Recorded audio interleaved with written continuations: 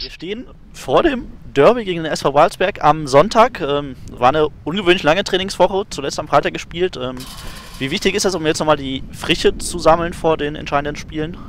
Ja, extrem wichtig. Wir hatten ja bisher immer nur englische Wochen, das heißt, wir kannten nur drei Tage regenerieren, dann wieder spielen.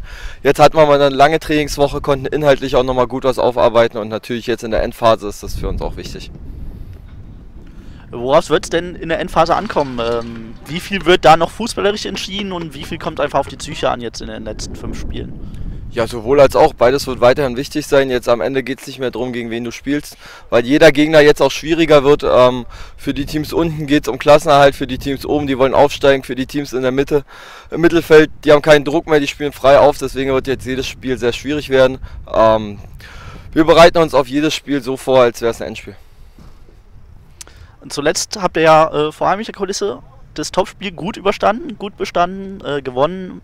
Was macht euch optimistisch, dass ihr jetzt gegen Babelsberg ähm, auch auswärts gut bestehen könnt beim unangenehmen Gegner?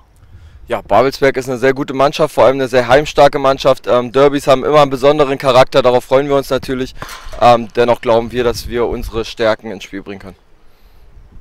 Hier im Training heute haben jetzt nur äh, Jan Scherbakowski und Cedric Euchen gefehlt oder waren nicht dabei. Ähm, ist denn abzusehen, dass die wieder ins Training einsteigen und am Sonntag auch fit sind?